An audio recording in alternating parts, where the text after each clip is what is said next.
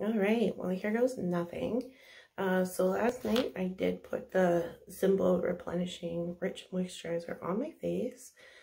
Um, I did have a bit of like a tingly, itchy feeling along here, but it only lasted a short period of time.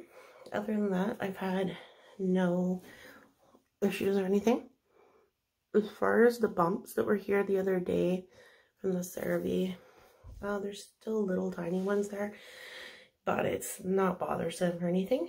So I am going to try and uh, do this whole thing again. So the advice I was given was wash my face with warm water, do the CeraVe, rinse it off, and then put the moisturizer on. So that's the plan, Stan.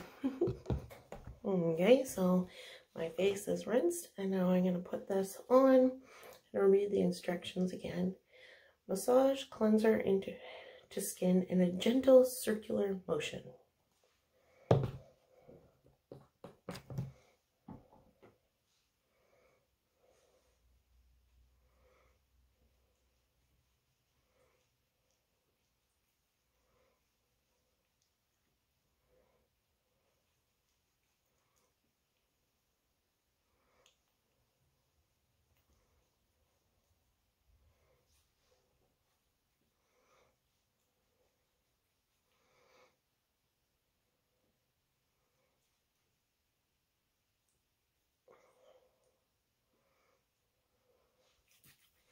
a little bit more for my forehead.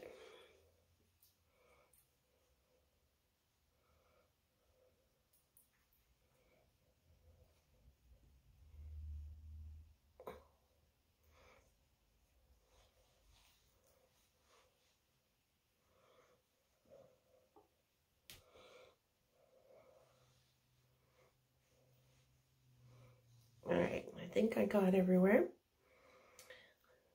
So I'm going to rinse this off and then I will put on the moisturizer. Okay, face all rinsed off. Put the moisturizer on.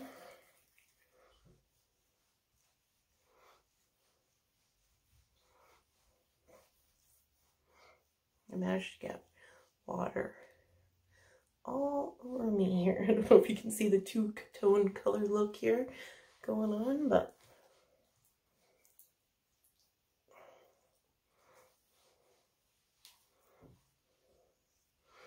a little bit extra from my forehead. You know what? That's there.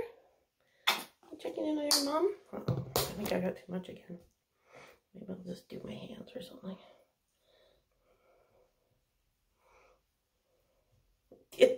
Oh, way too much. You can see on my eyebrows.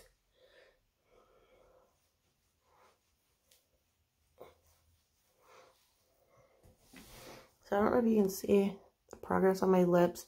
Like they still look kind of dry, but they feel so much smoother.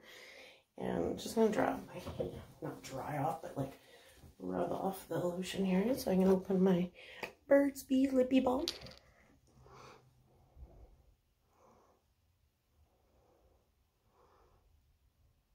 So while the appearance still looks kind of chapped, it's definitely a lot smoother. I'm not noticing the dry skin. So that's helping.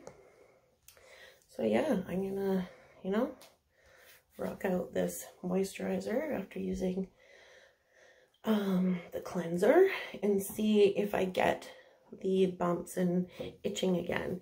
If I do, then I guess we have to assume that it is the cleanser and that I should try something different. So we'll see how that goes.